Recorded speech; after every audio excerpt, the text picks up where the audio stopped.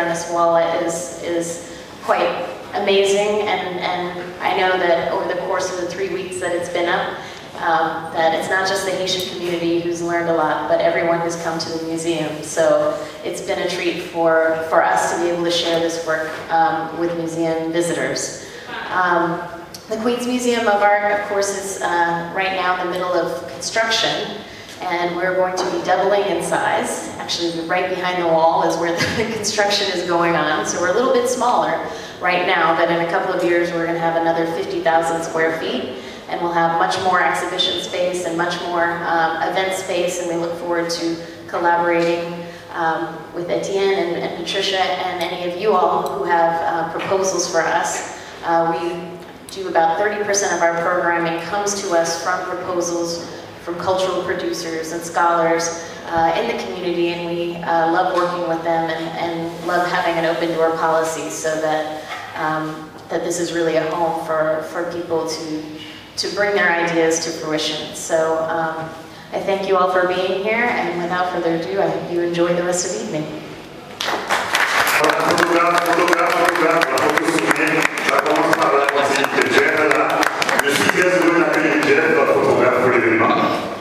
Eh bien, euh, avant de passer le micro à Patricia.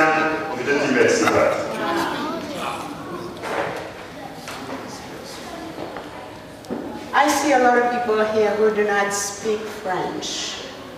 So, since the majority, since all of you do speak English, I will address you in English. it is an honor for myself to really work with Etienne and work with Prerna. It has been uh, quite a ride. And um, I hope that you're enjoying this event as much as we've enjoyed putting it together for you. Um, if you look at the artwork shown over here, it may seem a little bit in disarray. Things are not quite aligned. Uh, colors do not necessarily go with each other. So I will explain a little bit of the reason for it.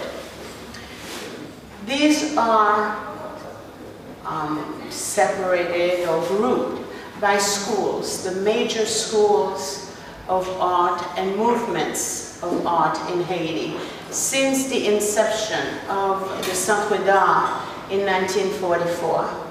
So all the way at the end, it starts with the Centre d'Art, and the artwork that are shown right above that are from artists who have attended the Centre d'Art.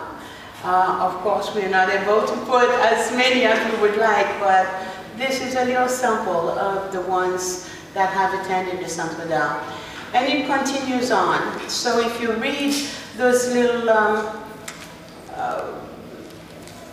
mottos that are put down, you will see a little bit of uh, the story behind it. It goes on, it continues with École de la Beauté, with uh, the Foyer Arts Plastiques, and it goes chronologically. So you can see a little bit of the progress and the changes that have happened throughout the years. Um, also, something that you will notice is that just because two people have attended the same school, their style do not necessarily go with each other. They have, and this is the beauty of the schools in Haiti, they have let the artists be themselves and express their talents. So uh, it continues around and uh, it shows some of the artists who not necessarily have um, attended any of the schools but were kind of, uh, who stood on their own, like Gesner Armand. And you will see some of the work also of uh, Tiga, where he used, um, uh, he was a little bit, uh, you know, he, he went out of the ordinary. He was thinking totally out of the box, so to speak, because he would take some uh, ink and some acid and you know put it in the sun and see what happened. This is wonderful for artists to just explode like this. It goes on to l'École du Cap, and you can see the differences between l'École du Cap and l'École de Jacmel, where l'École du Cap really shows some historical, minute detail of historical pieces, and the L'École de Jacmel really works mostly on imaginary landscapes. So I hope that you will just go around and really intake all this uh, richness that is right there before you. Nous avons l'honneur d'avoir avec nous ce soir sur le Nicky Nick New York Show un artiste de prédilection, un vieil ami qui, euh, qui a chanté pas mal euh, d'amour, qui a chanté, qui a quand même euh, produit pas mal de chansons et que nous gardons encore dans notre, dans, dans notre cœur comme des souvenirs indélébiles. Euh, je veux parler de Léon Dimanche. Chaque fois que je le vois, chaque fois que je l'entends, il me ramène au, au temps passé, au bon vieux temps. Léon, comment vas-tu? Ça va très bien, merci François.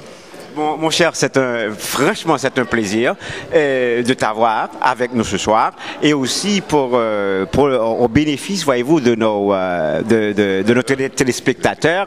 Je crois que j'apprends rien à qui que ce soit quand vous voyez maintenant la physionomie, la face.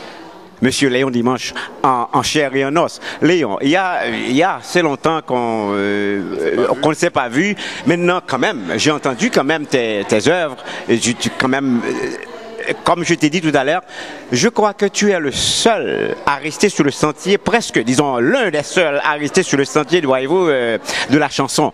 Est-ce que quand même c'est c'est là ton amour? Est-ce que c'est c'est le travail que tu veux quand même produire? Mon cher, j'aime la chanson, j'aime la romance. C'est pourquoi j'écris tant de chansons euh, sur l'amour. Et Marcel Mathieu l'avait bien dit, il m'avait baptisé Léon Dimanche, prince de l'amour. Donc, je ne vais pas faire de lui un menteur, donc je, je dois continuer dans cette voie et c'est pourquoi je, je chante, j'écris toujours les chansons d'amour et je, je ne m'arrêterai pas de le faire. Mais il y a quelque chose que j'ai constaté et, ceci, je peux dire ma constatation personnelle.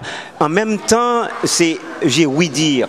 Euh, J'ai pu quand même entendre, voyez-vous, le, le commentaire des autres qui dit que tu nous transportes toujours avec une certaine nostalgie.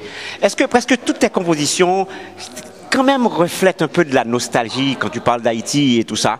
Est-ce que c'est un- une empreinte, voyez-vous, du temps passé, euh, fais de la vie en Haïti, qui, t'amène à, composer ainsi? Eh bien, lorsqu'on m'entend, je transporte les gens dans une époque enchanteresse, l'époque de notre jeunesse, parce que nous avions connu une jeunesse extraordinaire dans notre temps. Au CAI, il faut figurer la ville des CAI, le terrain où je me suis produit. Les jeunes filles pullulaient et il y avait la littérature, qu'on accordait à qui à, laquelle on accordait une attention spéciale qu'il s'agisse de, de- de- de- des jeunes filles ou des, ou- jeunes garçons les adolescents on s'adonnait tous à la poésie donc et maintenant lorsque je chante ces chansons lorsque j'exécute ces chansons les gens se revoient ils, font la réminiscence ils retournent à, cette époque de l'enchantement. Je dis de l'enchantement parce que c'est presque une, époque magique lorsqu'on considère le temps passé au temps actuel. Et en fait, Léon, euh, tu, viens de chanter au- aujourd'hui euh, une chanson de Gabriel, ton, frère, qui, a, failli quand même euh, et, euh, me faire pleurer parce que... Mais,